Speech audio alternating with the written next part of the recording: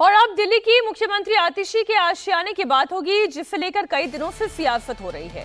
दिल्ली की मुख्यमंत्री आतिशी को लेकर छिड़ा बंगला विवाद आखिरकार थम गया है। पीडब्ल्यूजी ने सीएम आतिशी को औपचारिक रूप से छह फ्लैग स्टाफ रोड का बंगला आवंटित कर दिया है।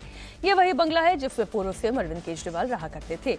आतिशी आज अपने नए बंगले का पोजीशन ले सकती हैं। दिल्ली की सीएम आतिशी के बंगले को लेकर क्या विवाद हुआ, उसकी पूरी टाइमलाइन समझिए। अरविंद केजरीवाल ने 4 अक्टूबर को सीएम बंगला खाली कर दिया था।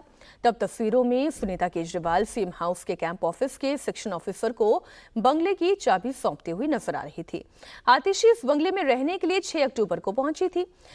तो आतिशी, अरविंद केजरीवाल की कुर्सी पर बैठने के लिए तैयार तो नहीं थी, वो दो दिन के अंदर सीएम हाउस में शिफ्ट भी हो गई। लेकिन उसके बाद जो कुछ हुआ, उसकी उन्होंने कल्पना भी नहीं की थी। पीडब्ल्यूडी ने आतिशी को बंगला खाली करने का नोटिस जारी कर दिया और उसके बाद सीएम हाउस को सील कर दिया। लेकिन अब पीडब्ल्यूडी ने वही बंगला आतिशी को आवंटित कर दिया है। दरअसल जब अरविंद केजरीवाल ने बंगला खाली किया था तो पीडब्ल्यूडी को उसकी चाबी नहीं सौंपी गई थी। हैंडओवर की प्रक्रिया और सामान की जाँच नहीं हुई थी। यानी कि ये बंगला औपचारिक तौर पर आतिशी को आवंटित नहीं किया गया था।